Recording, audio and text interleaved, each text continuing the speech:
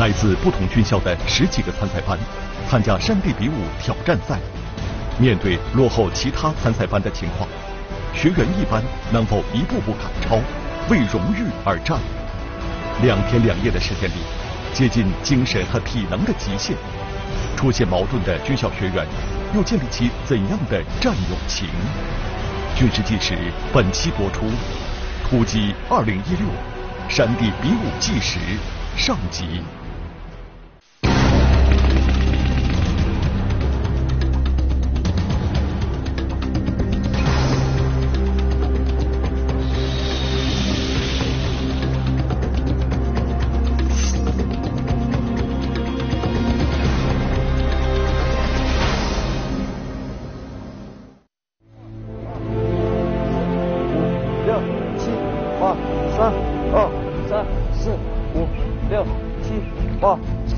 做着最后的热身准备，参加山地比武的一班已经蓄势待发。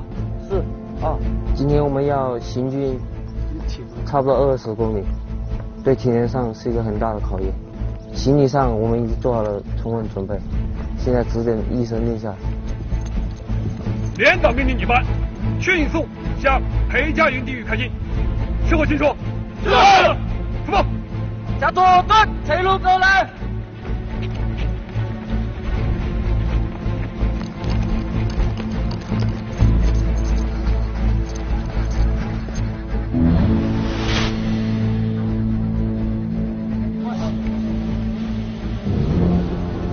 盘旋在山间的无人机和隐蔽在树丛中的观察哨，搜索着学员们的身影。规避侦察这个科目，模拟在实战中躲避敌人前沿阵地的各种侦察手段，潜入到敌人腹地的这一过程。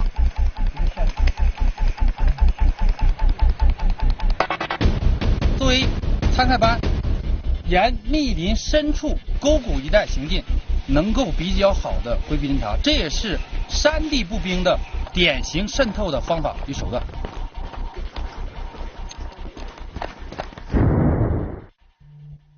像这几个被侦察到的参赛班，他们这个科目的分数将会很低，甚至被取消。而一般的行进路线比较隐蔽，但他们吃的苦头也多。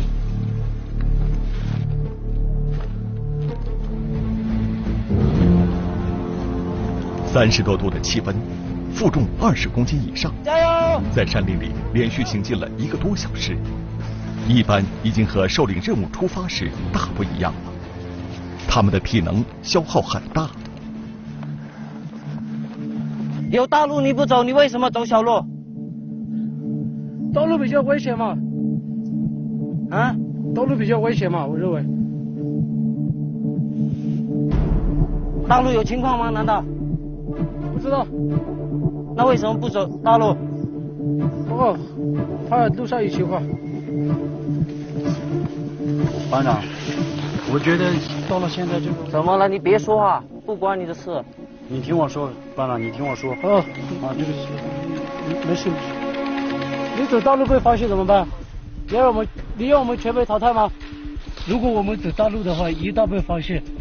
虽然大家心里都明白怎么走才符合实战要求，但在体能跟不上的情况下，烦躁的情绪逐渐在每个人的身上蔓延。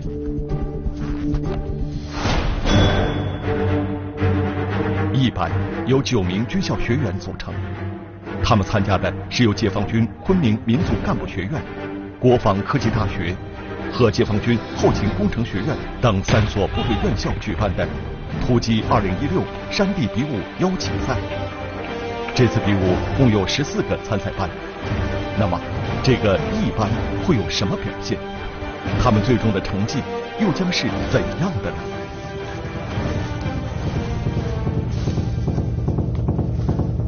啊，这个路怎么那么难走啊？杨飞雄，路是不是走错了？你看看兄弟们，都累成什么样了？一下穿你，一下要穿一下老百姓的稻谷。那你不吹牛，你去走大路去嘛？那大路能走吗？这里就只有这个泥里面就只有这么一条路。我就问你还有什么时候到？走这么远了，走这里上去水了。这里上去翻过这座山，然后就是下坡。没没一没有一个人报告这个情况，就看过地上有敌暗堡。这条路上面全部都是敌人，你得上去吗？一般的学员们都是第一次参加山地比武的大二生，与其他参赛班大三、大四的学员相比，他们的军事素质和经验都有差距。而在这次比武中，他们将怎样提高呢？训练的侧重点主要考察班长的组织指挥能力、全班的协同配合能力，以及全班各个战斗员的体力。耐力和毅力。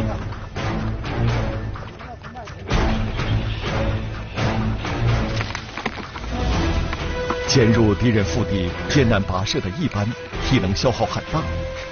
这个时候最需要班长发挥作用。但短短的一上午时间，我们的摄像机就拍到了班长何丽丽几次发火。太阳，哦，刚才看任务卡的时候为什么没有好好看？你是导航员，路难道你不清楚吗？你拿着地图是干什么用的？站住的！站住！哎，算了。一班班长何丽丽性格十分要强，上个学期她一路杀进全校体能比武的决赛，并最终获得冠军。这个学期有机会参加山地比武，士气正盛的何丽丽毛遂自荐担任了班长。但自己的素质不错，并不代表何丽丽就能带好整个班。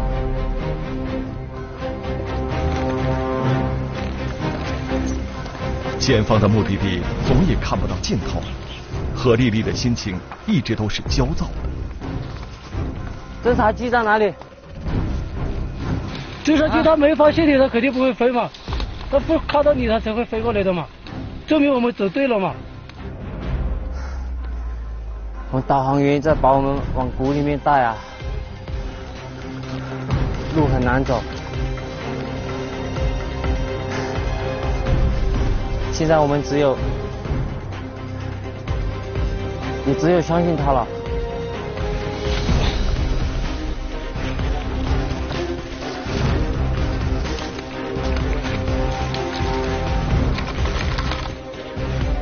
将近三个小时了，就在一班即将走出密林的时候，一架无人机突然飞到了他们头上，一班要马上进行隐蔽。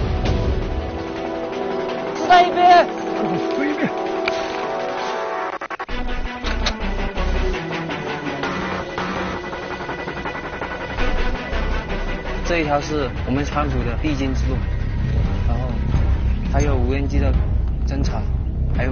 上面大陆上的敌血龙分队，可以说这是敌人的地盘，要想要渗透过去，必须要通过这一条过。二组报告情况。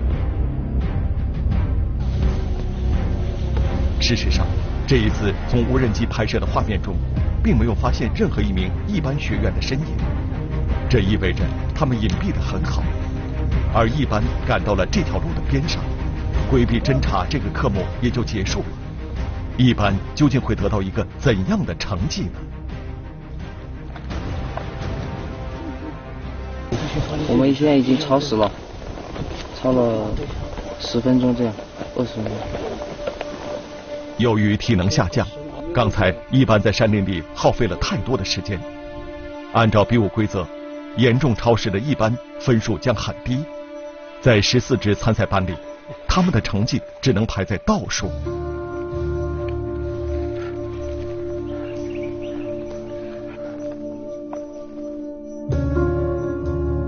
短暂休息了几分钟，班长何丽丽就催促着战友们动身。休息好没有？啊！退。二组搜索前进，一组、三组交替掩护。这次的山地比武将连续展开两天两夜，完成一个科目后，要马上进行下一个科目。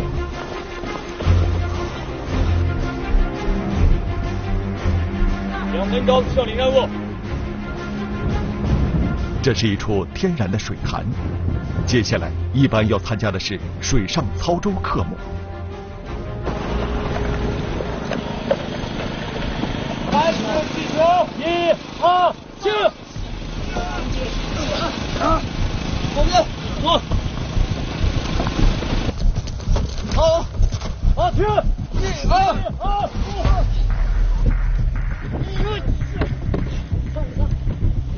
水上操舟是官兵们在山地作战中必须掌握的一项技能。在山岳丛林环境中，分布着很多大小不一的河道、湖泊，能够利用舟船过河，是最简便也是最省劲的方式。可是，一班刚一上来，方向就偏了。方向，方向，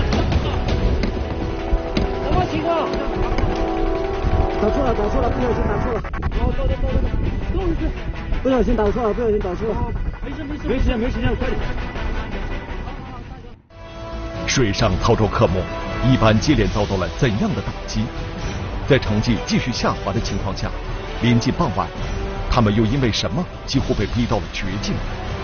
军事纪实正在播出，《突击二零一六山地比武纪实》上集。再倒倒回去吗？对，走走走，去走走。好，这边转，打方向，方向方向。一般的冲锋舟偏了，他们需要重新确定方向，而这个失误耗费了宝贵的时间。准备预备，走，走，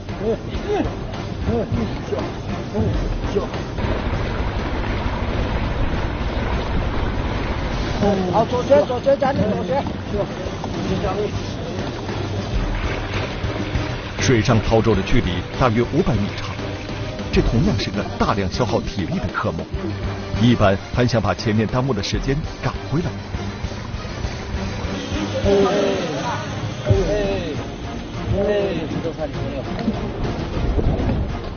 一般的冲锋舟快要划到终点了，为了把冲锋舟从浅滩拉到岸边，无意间一名学员扔掉了船桨。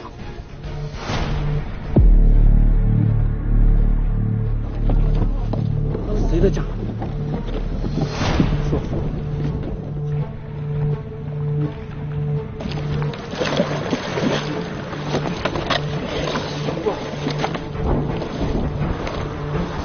打捞船桨，一般的时间又被消耗掉了一些。根据比武规则，当全部器材带回后，才算完成这个课目。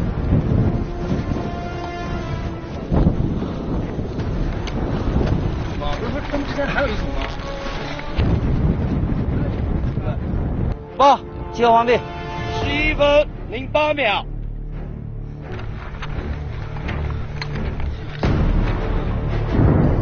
打错了，打错了，不小心打错了。水上操舟科目一般出现两次比较大的失误，在十四个参赛班中，他们的名次恐怕又要下降了。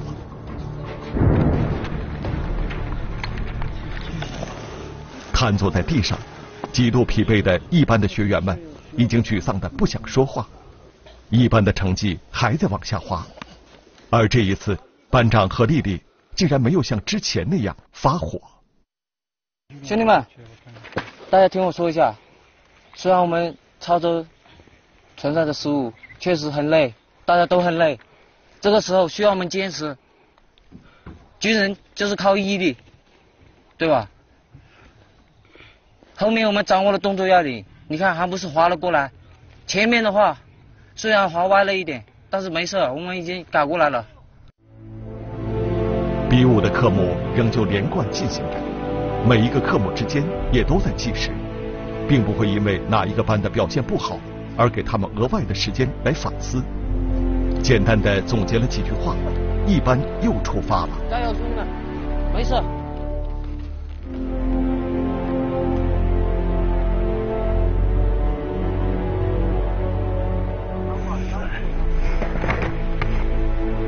晚上六点，在完成了一连串的科目后，一班的学员们已经筋疲力尽了。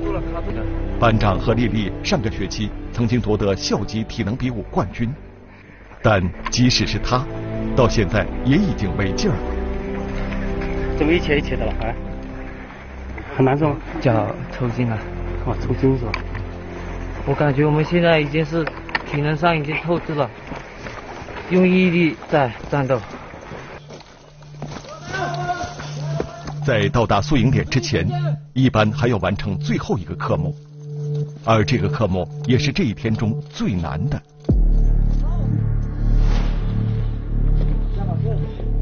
这个我们是模拟一个那个商业丛林定当中的一个壕沟，就是说我们假想这是一个敌方预先布设了地雷和竹签的那个一个障碍。那么就说，如果他要从下面走的话，那就是阵亡了，肯定就暴露我们的行动和企图。现在就是要叫他通过一个班的协同，通过搭设一个桥，从上方通过。之前很多学员在搭设独木桥的时候触到雷区，被判阵亡。甚至有一个参赛班因为在规定时间内没有搭设好独木桥，而被判全员阵亡。在这次比武中，他们将没有名次。这是个要求严格的科目，如果出现失误，结果将非常严重。一般能不能闯过这一关呢？怎么了？啊，脚是吧？哇，他妈，这两个大腿，两个大腿，对对对，两个都出去。来，把脚卷了，脚卷了，卷了，脚卷了，脚卷了，要不要卷球？哎，是吧？卷球，卷球，快！对，坚持。好，坚持一会儿，坚持一会儿。哦哦，没事吧？啊，没事。等一下，等一下，别下来。尽管一班学员们的体能已经达到了临界点，但此时他们仍要马上参加最后的一个科目。没多少次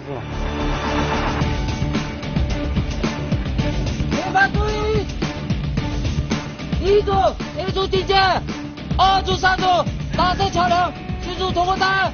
二组三组搭设桥梁，准备，一、二，去！注意安全，放到肩上注意安全。这根巨大的用于搭设独木桥的原木重达四百斤，一般的学员们是想把原木在壕沟边上先竖起来，而这个做法和之前我们了解到的正确的方法不谋而合。往前走，往前走。最好的方案就是要把木头竖起来，然后全班协同把木头竖起来，倒过去。加油加油！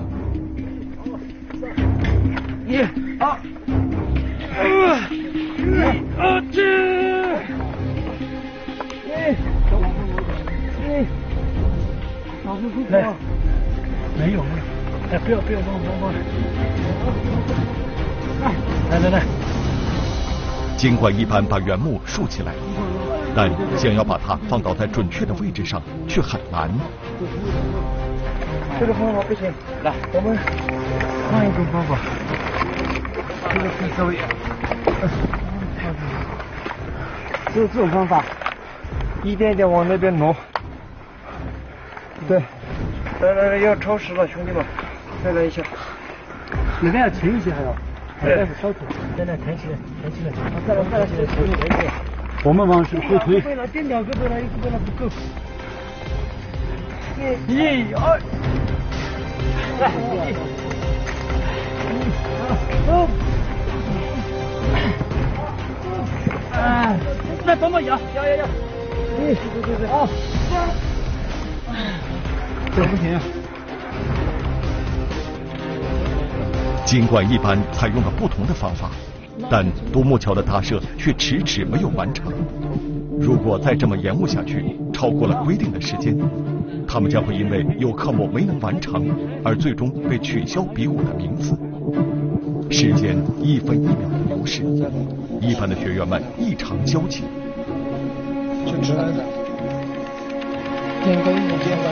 没有，还有背包是没有。听我讲一下，背包是有个，两个人负责打两个结，一边拉那边，一边拉那边，全部人直接往上抬，两个人他稳住一下方向。啊，关键时刻，学员才让扎西想出了新的方法，但这很可能是一班最后一次尝试。一、二、走，一、二、先方向稳一下，不然我们左右晃，你发现没有？对，两个人就弄这边，来三步三步，你俩均匀一点，力量均匀。都太重了，都木条。走走走，高起来，高起来，往左，往左一点。你那个，好，对，一、好，一、二，你这好了没有？要跟着走，好了，走，前面都是这看，前面走嘛，前面走弟弟。哎，这样你那就小心，小小心快跳，小心。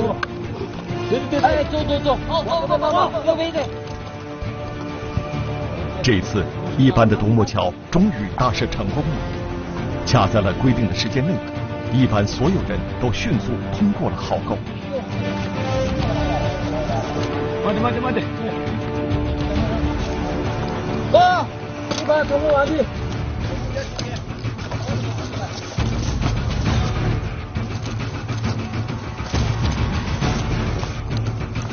艰难完成科目，一班的学员们如释重负。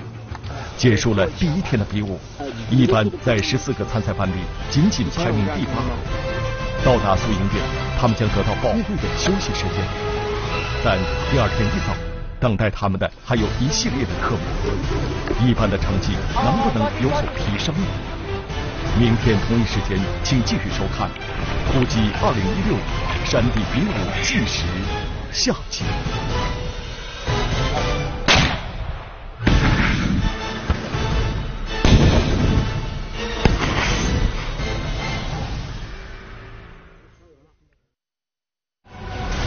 来自不同军校的十几个参赛班参加山地比武挑战赛。面对落后其他参赛班的情况，学员一班能否一步步赶超，为荣誉而战？两天两夜的时间里，接近精神和体能的极限。出现矛盾的军校学员又建立起怎样的战友情？军事纪实下期播出，突击二零一六山地比武纪实下集。